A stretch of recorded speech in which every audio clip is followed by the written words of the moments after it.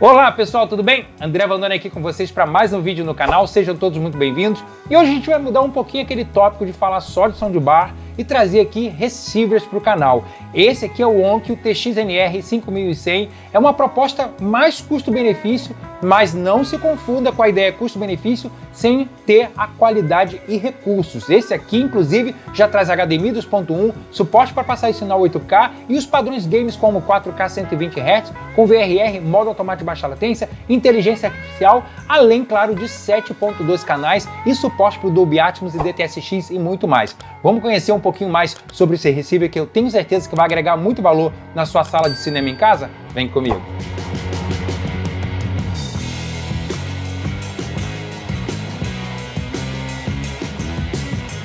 Meus amigos, esse Onkyo TXNR é uma proposta excelente para quem está começando agora uma sala de cinema em casa ou já tem uma sala dedicada com receiver mais antigo e queria aproveitar aí os padrões Dolby Atmos e DTSX sem pagar muito, aproveitando inclusive o conjunto de caixas que tem. E se você não quiser usar os canais Atmos no teto, você ainda pode usar o setup 7.2 canais tradicional mais antigo das mídias de DVD e Blu-ray e ainda assim vai ter uma experiência de som maravilhosa. Vocês vão conhecer ele agora por completo, a gente vai dar uma olhada nele, vamos testar ele com filmes, games e também com música para a gente ver como é que fica a sonoridade dele.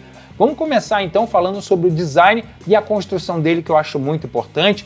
É um padrão de receivers para quem já conhece esse tipo de equipamento. Traz aí a cor preta, um estilo mais minimalista, uma frente muito bem desenhada. Aqui na parte superior a gente vê algumas informações dele, informando que ele tem Bluetooth, é compatível com Dolby Atmos, DTSX, DTS Virtual X, traz HDMI, já é compatível com Dolby Vision e traz também suporte de Wi-Fi. Na parte da frente dele nós temos o botão de ligar, o botão Pure Audio, onde você desabilita o processamento de áudio. Aqui embaixo nós temos a saída de fone de ouvido, o botão Move TV, onde você configura as opções de surround, o botão Music para configuração de surround para music e o botão Game para configurar surround para games. O visor dele é bem amplo, tem bastante informações aí, vocês estão vendo na tela, e também teclas dedicadas para cada uma das HDMIs principais. Também temos essas teclas para você ajustar os agudos e os graves, e ali no finalzinho temos o microfone de calibração. O controle remoto é mais minimalista, não tem aquele efeito de retroiluminação, uma pena, mas tem aí as teclas principais e você tem todo o acesso aos menus de configurações e opções de surround e outros modos de calibração. Na parte de trás dele nós temos duas antenas aqui, uma para captar Wi-Fi e a outra para o sinal de Bluetooth.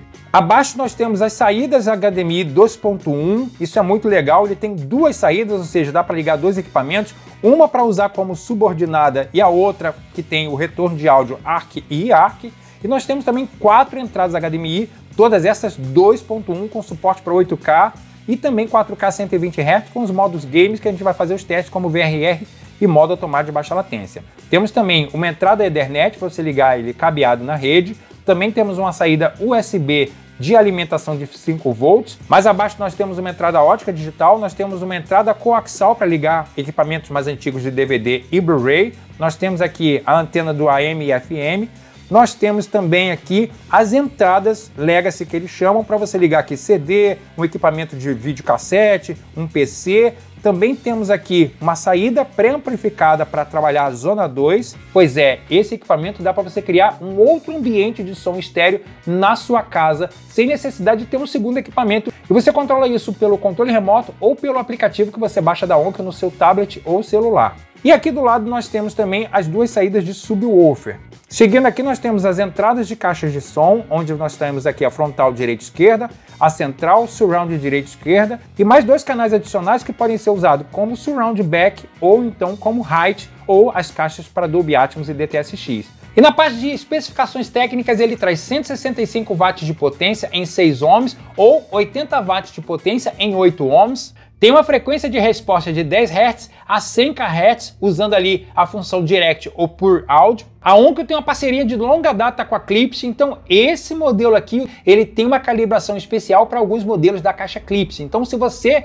quer a máxima experiência e gosta da marca Clips, já tem caixas dela no seu setup ou pretende comprar, tá aqui uma ótima opção, porque no menu de configuração dele, vocês vão ver na hora que a gente fazer os testes, você tem uma opção de escolher o modelo de caixa Clips para central, subwoofer, surround, back surround e até Dolby Atmos. Então, ele vai entender aquela caixa e fazer um cross crossover e uma calibração quando você passar com o microfone dele muito mais precisa para tirar proveito 100% das suas caixas e subwoofers que você escolher da marca Clips. Então esse é um diferencial incrível que é o que me fez escolher aquele meu Onkyo TXNR 7100, porque no futuro eu queria fazer o upgrade e experimentar essas caixas clips que todo mundo fala muito bem dela. E a impedância para as caixas que você pode usar nele pode ir de 4 a 16 ohms, se destaca trazendo recursos ainda mais interessantes para quem já tem casa inteligente, porque você pode conectar ele ao Google ou Alexa e comandar toda a sua casa, inclusive ele mesmo. Além disso, traz acesso a serviços de streaming de música integrado por ele, como por exemplo Spotify,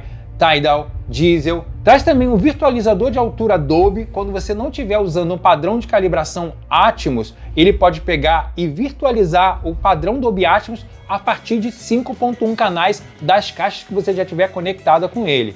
Também está pronto para a tecnologia DTS Play-Fi, que usa a tecnologia do DTS via Wi-Fi para transmitir áudio estéreo para outras caixas de som compatíveis com isso. Traz também um microfone de calibração e a tecnologia AQ-EQ, que é proprietária da Onkyo para fazer toda a medição do seu ambiente e ajustar o crossover e a distância das caixas para você ter a melhor experiência de áudio. Vamos levar ele então agora para minha sala dedicada e vamos fazer todos os testes nele. Onde eu tenho aí um conjunto de caixas torres frontais JBL Studio 280, também tem uma caixa central da JBL modelo S Center, também tem um par de caixas Atmos da JBL modelo SI 6SA Plus Arandela no teto. Também tem o caixa surround bipolar da Clips ao lado aqui da sala. Esse é o modelo R14S e as minhas back surrounds são caixas simplinhas da Edifier modelo P17. E aí eu também tenho dois subwoofers da Sony. Esse aqui é o modelo SA-WMS 556. O meu receiver Onkyo TXNR 7100 é 9.2 canais, então eu consegui criar um setup aqui 7.2.2, ou seja, são 7 canais aqui na linha do ouvido, mais dois canais Atmos na parte superior e dois subwoofers ativos. Como esse TXNR 5100 é 7.2 canais, a gente tem a opção aqui de fazer uma sala 7.2 real, né, com todas as sete caixas aqui na linha do ouvido, ou tirar o canal Surround Back e criar então uma sala Atmos usando 5.2.2, ou seja, cinco canais aqui na linha de ouvido e duas canais Atmos na parte de cima. E como ele tem entrada para dois subwoofers ativos, posso usar também dois subwoofers. Então isso é a flexibilidade do receiver, entendeu? Vou ligar ele com as minhas caixas de som que eu já tenho aqui dedicado na minha sala, mas lembrando que você pode usar a caixa de som que você já tem aí na sua casa ou comprar par novos. Eu vou deixar dicas também aqui de modelos e conjuntos que você pode comprar hoje com custo-benefício bem interessante.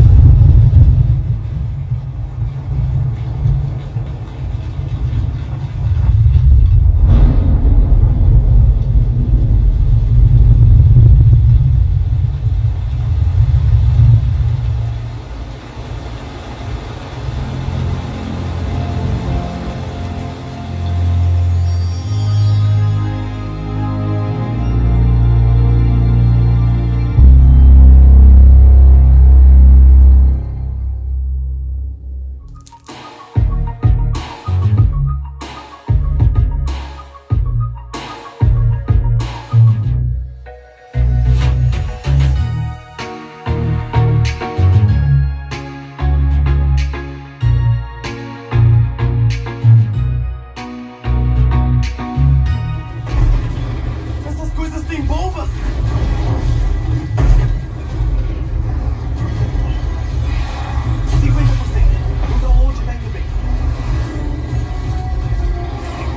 Bom, meus amigos, a Onkel já conquistou meu coração, eu sou até meio suspeito para falar da marca, porque em 2023 eu acabei fazendo um upgrade na minha sala dedicada, quem acompanha aqui o canal sabe, eu tinha um modelo da Denon AVRX 2300W, 7.2 canais, muito bom, era um modelo de 2017, que já tinha ali suporte para o 4K, Dolby Vision, Dolby Atmos e DTSX, mas eu queria um algo a mais, e aí encontrei com um custo até muito bom na minha condição financeira, o Onkyo TXNR 7100, que traz 9.2 canais e já era certificado THX e trazia inclusive HDMI 2.1, suporte para 4K 120 Hz e inclusive o padrão IMAX Enhanced DTSX, que era o que eu queria para o meu novo setup. E aí, meus amigos, agora com os testes feitos, posso dizer que essa é uma proposta muito legal para quem está começando agora ou para quem já tem um equipamento mais antigo, como eu falei no início, e queria só fazer um upgrade. Você que é gamer e gosta de som potente no seu Xbox Series X ou PlayStation 5 ou mesmo no seu PC gamer e no Nintendo Switch, tá aqui uma ótima proposta também para você dar um upgrade na qualidade sonora, visto que os novos consoles PlayStation 5, Xbox Series e as placas novas de PC já oferecem aí suporte para Dolby Atmos e com isso ganha muito mais imersão você jogar aquele jogo de corrida, aquele jogo de tiro, aquele jogo de aventura, um jogo de terror, ó,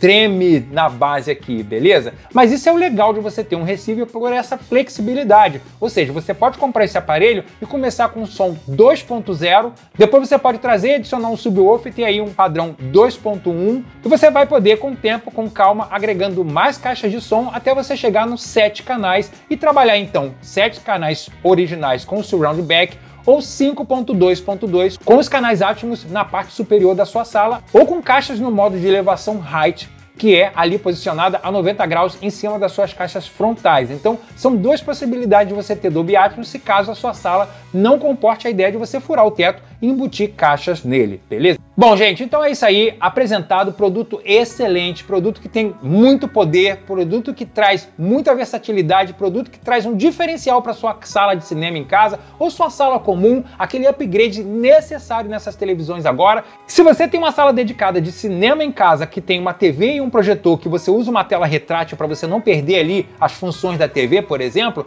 esse receiver te cobre nisso também por oferecer então duas saídas HDMI 2.1 uma com retorno de áudio ARC, então você pode ter o melhor do seu projetor e o melhor da sua televisão nos dois mundos no mesmo momento aqui, usando aqui equipamentos diferentes com duas saídas de vídeo nesse receiver aqui da Onkyo TXNR 5100. Então, é um produto de entrada da linha TXNR da Onkyo, mas que já oferece os recursos mais top dos modelos mais altos da linha. Então, ó, excelente. Espero que vocês tenham gostado. Comenta aí se você já tinha um receiver da Onkyo ou tem receiver em casa mais antigo que não tem aí suporte para Dolby Atmos, para passagem da saída HDMI 2.1. Se você joga videogame e queria um, aparelho que fosse completo para você não perder nada, tá aqui. Onkyo TXNR 5100 pedida do canal Escolha Certo para você, tá bom? E se você gostar desse meu review, vai ter link dele de outros equipamentos na descrição desse vídeo e do nosso grupo de oferta do WhatsApp do Telegram. Indico vocês entrar lá que está sempre sendo atualizado